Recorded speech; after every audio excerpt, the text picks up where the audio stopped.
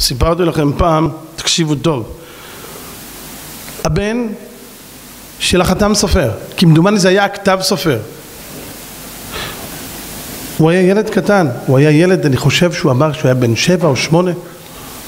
אבל החתם סופר כולם היו יראים ממנו, היה לו, היה איש קדוש ועליון, נורא ואיום, פלא פלאות, מתמיד עצום, צדיק יסוד העולם היה חתם סופר. הוא נכנס הביתה, הילדים, מרוב שהיה להם יראת כבוד מאבא שלהם, היו, היו ממש מקבלים יראה שאבא היה מגיע. אז כשאבא בא הביתה, בחתם סופר, הוא רואה שהבן שלו הקטן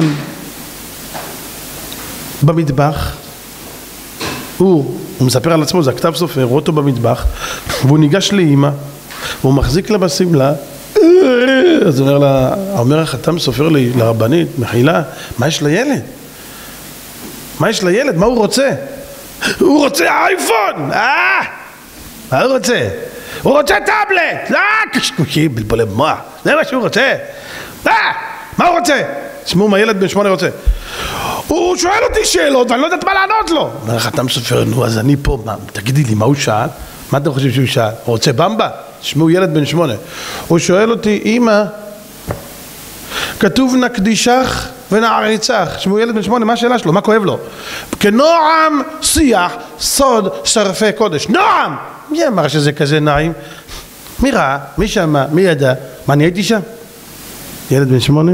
זה מה שמציג לי, הוא מושך לי אמא בשמלה. אמא במבה! אמא! לא, אמא תביא לי קולה! לא, הוא רוצה לדעת מה כתוב. אומר לך, אתה מסופר, מה הבעיה? מה הבעיה? מה, אני אקח אותו לשמיים? מה זה שאני אעשה? לא, תביא אותו איתי. אמר לו, בוא עם אבא לתפילת מנחה. מה מספר הכתב סופר, רבותיי, תחזיקו את הכיסאות חזק.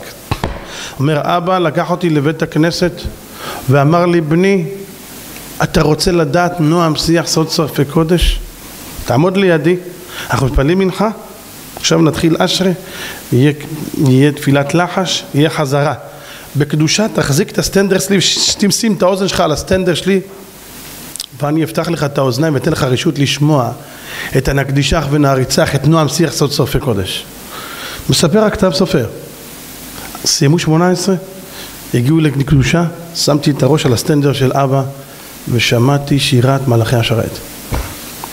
עמדתי ולא יכלתי לזוז ואני מתענג, מבסוט, מוואלים, בואי נלך, תדע איזה מכ"ם היה שם אותו יום. וואו! ופתאום נגמרה הקדושה, אבא עושה לי ככה. אה, מספיק לך, די. אומר, אז הבנתי מה זה נועם שיח, סוד סופי קודש. רבותיי, חתם סופר יכול לפתוח לו את האוזניים. חתם סופר היה צדיק יסוד עולם, פחד. רוח הקודש שלו זה היה מביא. רבותיי, פלא פלאות. אז, אז הנועם, שיח סוציאל וקודש ברור העולם יכול ליהנות ממלאכים. מה הוא צריך עם חרבטים כמונו, תגיד לי? בא עם הפאוט שלו מהעבודה, כולו ככה, יאללה, נקדישך ונערצך. לך הביתה. זה בא עם הקפה, זה בא עם התה, ההוא בזה יוצא החוצה. לכו כולכם, מה אני צריך אתכם? תראה איזה מלאכים יש לי פה, סוכריות. אין ביניהם לא ריב, לא מצה, לא מריבה, אין מלאכים עבריינים, אין מלאכים משתמשים. מלאך, שמעתם מלאכים נרקומנים? אין. מה זה? אצלהם מסיבות טבע, מסיבות... לא, אצלהם הכל זה אלוקות, הכל זה קדושה, כולם שואלים זה לזה ונותנים רשות זה לזה באהבה. פילי פלאות, איזה יופי, מחנות, מחנות, מחנות, וכולם מזדעזעים מקדושתו של השם. מה צריך אותנו? תגידו לי. ועם כל זה רבותיי, אומר הקדוש ברוך למלאכים זוזו אני הולך אצל הבנים שלי שם למטה יצירי חומר. קרוצי חומר אלה למטה שנמצאים עם המשאית ועם הבסטה בשוק.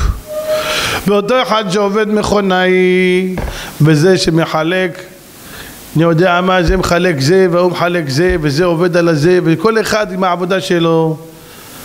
ושם אני מקבל את הדבר הגדול ביותר